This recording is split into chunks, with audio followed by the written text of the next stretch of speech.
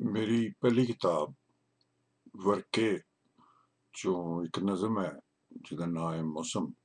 ਮੈਂ ਇਸ ਨਜ਼ਮ ਰਾਹੀਂ ਮੌਸਮ ਨੂੰ ਡਿਫਾਈਨ ਕਰਨ ਦੀ ਕੋਸ਼ਿਸ਼ ਕੀਤੀ ਹੈ ਕਿ ਨਜ਼ਮ ਹੈ ਕਿ ਬਿਜੜੇ ਦੇ ਆਲਣੇ ਵਾਂਗੂ, ਬਿਜੜੇ ਦੇ ਆਲਣੇ ਵਾਂਗੂ ਤੀਲਾ ਤੀਲਾ ਰੇਸ਼ਾ ਰੇਸ਼ਾ ਕਰਕੇ ਆਪਣਾ ਜੁੜਿੰਦਾ।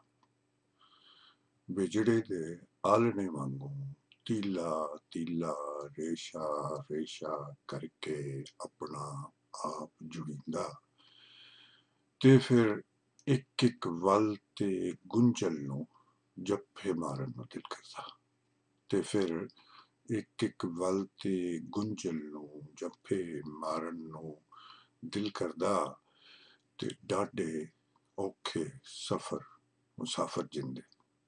ਡਾਢੇ ਔਖੇ ਸਫ਼ਰ, ਮੁਸਾਫਰ ਜਿੰਦੇ ਤੇ ਵਤ ਅੱਖਾਂ ਤੇ ਸਾਵਾਂ ਦਾ ਇੱਕ ਲਸ਼ਕਰ ਘੇਰਾ ਅੰਗ ਦਿੰਦਾ। ਤੇ ਵਤ ਅੱਖਾਂ ਤੇ ਸਾਵਾਂ ਦਾ ਇੱਕ ਲਸ਼ਕਰ ਘੇਰਾ ਅੰਗ ਦਿੰਦਾ ਤੇ ਇਹ ਸਾਵਾਂ ਜੀਕਣ ਖੇਰੇ ਤੇ ਵੇਰੇ ਹੋਏ ਵਹੂਸ਼ਾਂ ਦੀਆਂ।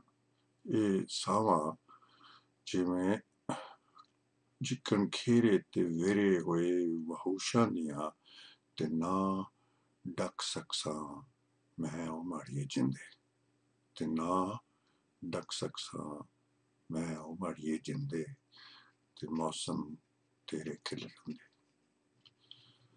ਤੇ ਮੌਸਮ ਤੇ ਨਾ ਹੈ ਮੌਸਮ ਤੇ ਨਾ ਹੈ ਖਿਲਰਨ ਤੇ ਜੁੜੀ ਜਿੰਦੇ ਵਸਪਾਂ ਦਾ ਤੇ ਵਿਜੜੇ ਦੇ ਆਲਣੇ ਵਾਂਗੂ ਤੀਲਾ ਤੀਲਾ ਰੇਸ਼ਾ ਰੇਸ਼ਾ ਕਰਕੇ ਆਪਣਾ ਆਪ ਜੁੜਿੰਦਾ, ਆਪਣਾ ਆਪ ਜੁੜਿੰਦਾ।